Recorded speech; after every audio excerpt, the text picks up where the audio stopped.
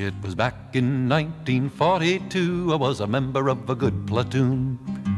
We were on maneuvers in Louisiana one night by the light of the moon. The captain told us to ford a river, that's how it all begun.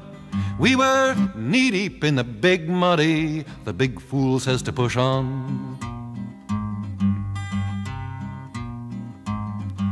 The sergeant said, Sir, are you sure this is the best way back to the base? Sergeant, go on, I forded this river about a mile above this place. It'll be a little soggy, but just keep slogging, we'll soon be on dry ground. We were waist deep in the big muddy, the big fool says to push on. Well, the sergeant said, Sir, with all this equipment, no man'll be able to swim. Sergeant, don't be a nervous Nelly, the captain said to him. All we need is a little determination, men. Follow me, I'll lead on. We were neck deep in the big muddy, the big fool says to push on.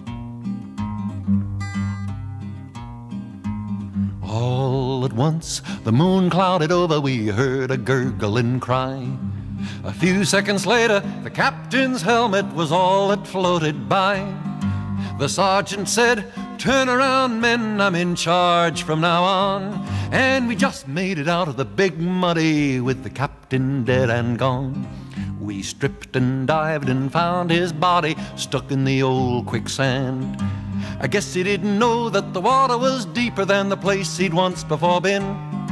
Another stream had joined the big muddy about a half mile from where we'd gone. We were lucky to escape from the big muddy when the big fool said to push on. Well, I'm not going to point any moral, I'll leave that for yourself.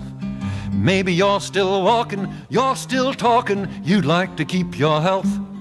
But every time I read the paper, them old feelings come on. We're waist deep in the big muddy, the big fool says to push on. Waist deep in the big muddy, the big fool says to push on. Waist deep in the big muddy, the big fool says to push on. Waist deep Neck deep, soon even a tall man'll be over his head. We're waist deep in the big muddy. The big fool says to push on.